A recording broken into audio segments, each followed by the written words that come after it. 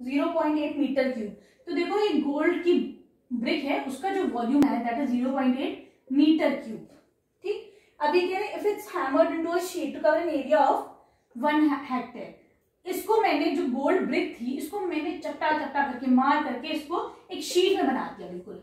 ठीक है? अब देखो एरिया हमारे पास है। एरिया कितना गिवन है? वन हेक्टेयर तो अभी देखो हमने ये देखा था ना कि रिलेशनशिप एक हेक्टेयर में कितना होता है?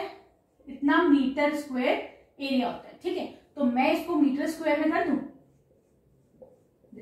ये भी आ गया मीटर स्क्वायर में, ठीक है? तो मुझे यहाँ से विद मिल जाएगी इसकी। कैसे? Volume is equal to area into height होता है तो हाइट कितना हो जाएगा? वी अपॉन ए हो जाएगी। है कि नहीं? तो v कितना है? ज़ीरो पॉइंट एट ये कितना है? One double zero double zero metre cube metre square बहुत सारे जीरोस आएँगे। तो मैं इसको सेंटीमीटर में कर लू? तो मैं इसको हंड्रेड से मल्टीप्लाई कर देती तो अब ये सेंटीमीटर में आ गया।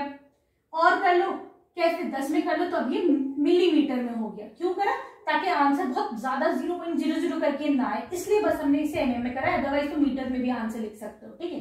One two three one two three ये हो जाएगा ज़ीरो पॉइंट ये ज़ीरो हटाओगे तो इससे एक आगे बढ़ जाएगा। Zero point zero eight M M कितना जाएगा बस एम ठीक है? ये तुम्हारी इसकी हाइट होगी। क्लियर ठीक है? आगे समझ